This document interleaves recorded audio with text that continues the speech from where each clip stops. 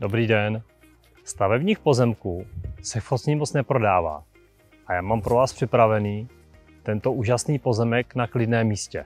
O výměře necelých 3000 metrů čtverečních, který je po domově možný rozdělit na tři samostatné parcely. Pojďte, budeme se na ně podívat.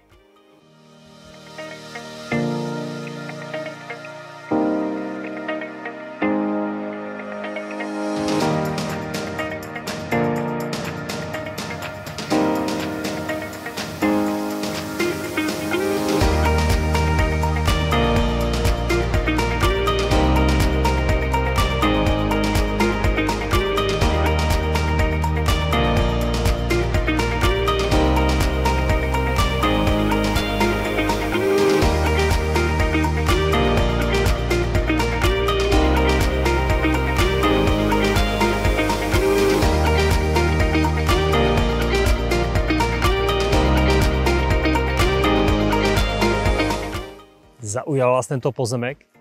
Tak mě neváhejte kontaktovat. Jmenuji se Michal Hrdina, rád vám ho osobně ukáži.